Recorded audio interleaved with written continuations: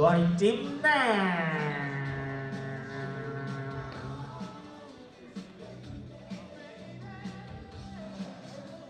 Ok, ok, gọi là 3, 2, 1